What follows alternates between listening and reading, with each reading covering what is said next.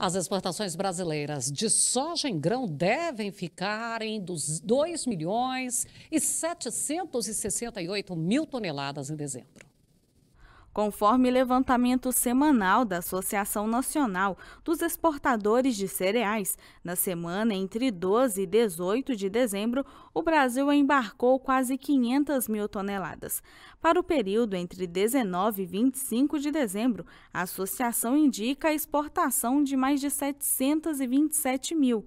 No acumulado do ano, a projeção é de embarcar 86 milhões até o final de dezembro. Para o farelo de soja, a previsão é de embarques de mais de um milhão e meio de toneladas.